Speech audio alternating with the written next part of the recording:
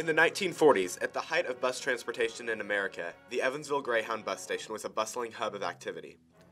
The station opened in 1939 and was an immediate success. At one time, 106 buses arrived and departed from the station daily. The station was constructed in Art Moderne style, highlighted by a futuristic facade with a horizontal focus.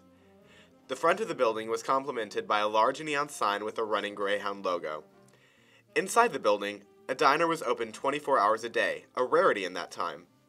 A men's and women's balcony overlooked the main waiting area where travelers could sit, smoke, and wait for their bus.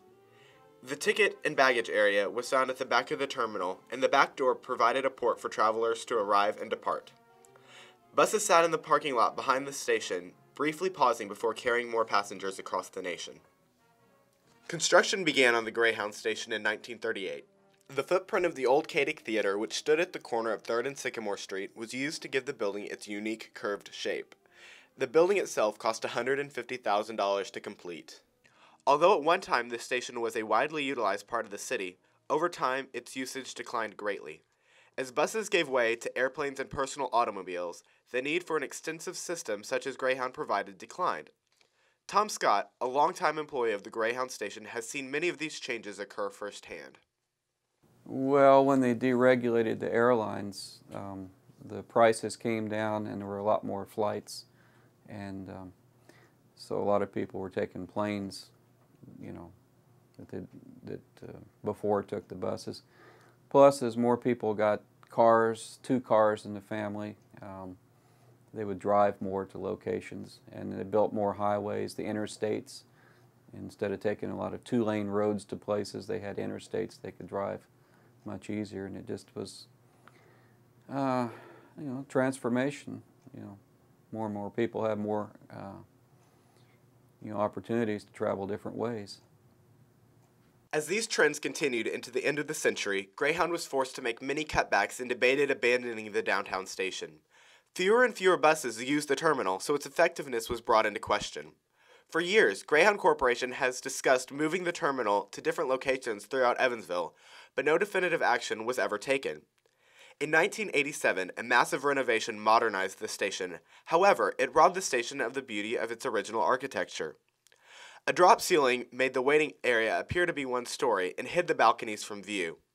Some of the original crown molding survives in the original bathrooms and upstairs balconies, but this area is not accessible by the public. In the present, the Greyhound station has changed dramatically from its original design. The 1987 renovation transformed the building from a unique structure to one that could simply survive in a modern world. Architecture was sacrificed for practicality as the Greyhound Corporation struggled financially. When visitors arrive at this station in the present time, they now see a simple waiting room and vending area instead of the original overlooks and diner. The bus schedule has also been reduced because of decreased usage. We have four now two during the daytime and two in the middle of the night. Mayor Jonathan Weinzapfel was asked about his thoughts regarding the Greyhound station as a unique structure and as an economic asset to the city.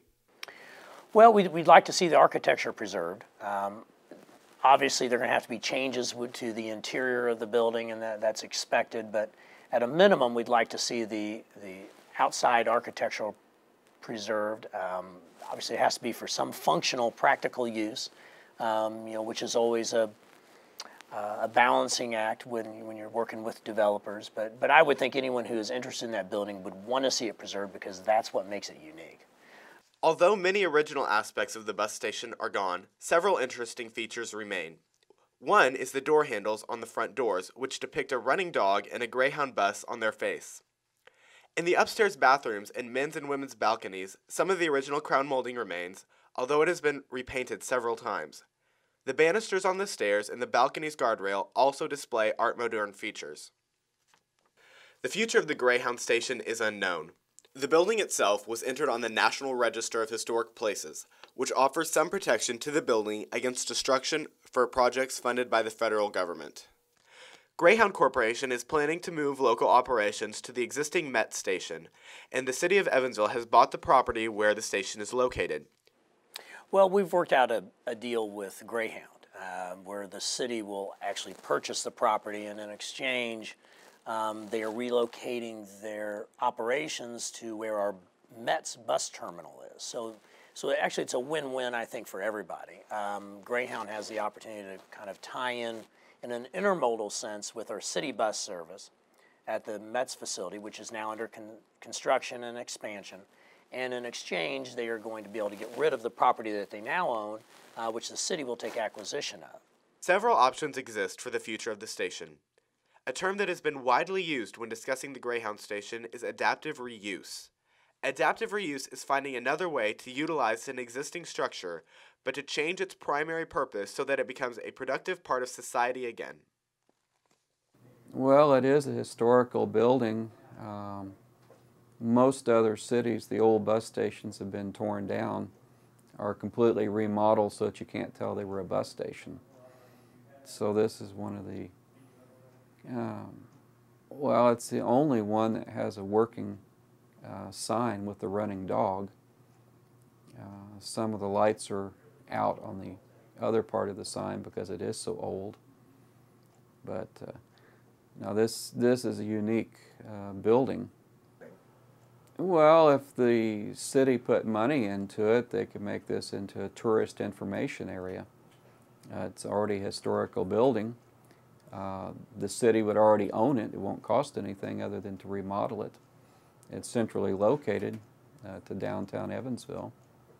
It's not going to be a bus station.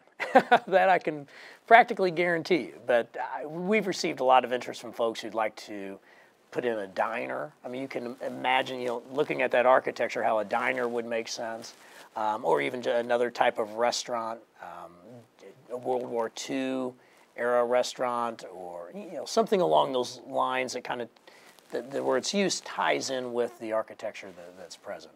I mean, it's a, it's a notable landmark, uh, not just in downtown Evans, but really throughout the community. So I, we want to preserve that from the city's perspective, and I would think a developer would also because that will only enhance its use. The future of the Greyhound station is still unknown. The building has outlived its purpose, but hopefully the unique structure itself can be preserved. It would truly be a shame to let this piece of Evansville history fade away into obscurity.